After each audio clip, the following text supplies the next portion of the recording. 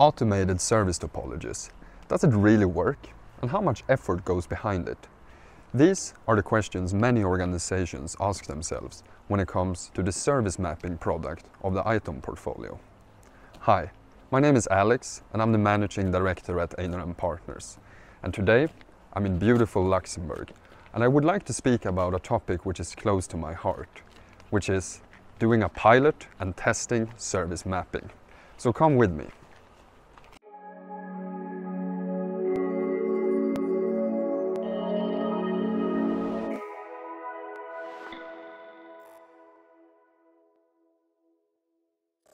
Service mapping. Um, what I'd like to start off with when it comes to a pilot is actually the qualification of pilot services.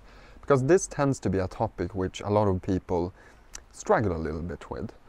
So what I would advise here is make sure that the services you use during the pilot are not A, too overly complex, and B, make sure that you actually have documentation available, blueprints, and that they are fairly easy to approach. So basically, qualification of the correct pilot services is largely important to have a successful pilot. Alright, so let me give you an example. What I often see is that people tend to suggest, let's go for this very big, complicated service. But unfortunately, what tends to happen then is that a lot of time is spent on trying to map this hugely complex environment and the bigger picture is a little bit neglected so the process, the people, and everything around it. Because not everything is about the technical aspects when you do service mapping. What I always ask myself is, can we realistically scale this wide and across the organization? That is for me what the pilot is meant to be answering. And therefore, it's also very important to speak to service owners, to involve them during the pilot, and to think about the process Let's put this into context because we need to identify the partaking stakeholders for the pilot. Typically, we have one person responsible for the overall service mapping process, the service mapping process owner.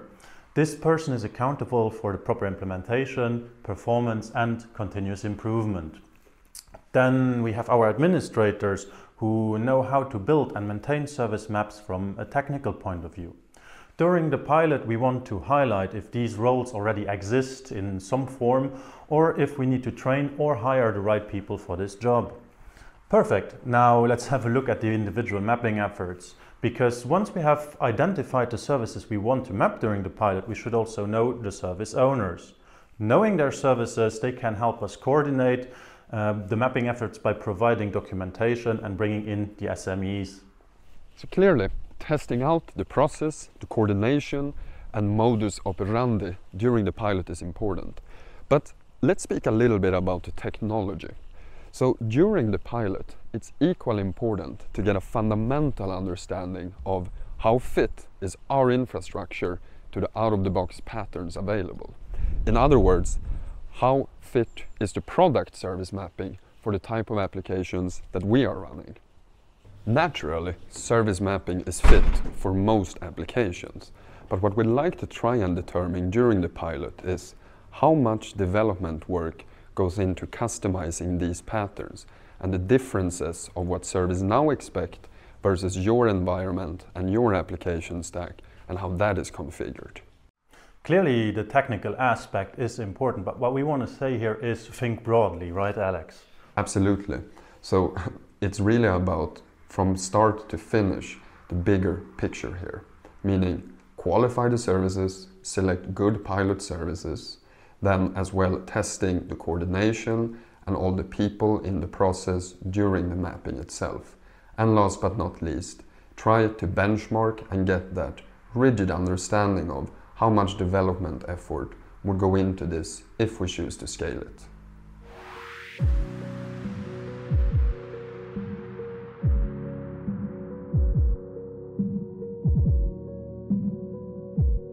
So as we can see, executing a successful service mapping pilot is not always that straightforward. But if you want to make sure to be successful, follow Einar & Partners on LinkedIn, subscribe to our YouTube channel and keep engaging with us. Thank you so much for watching.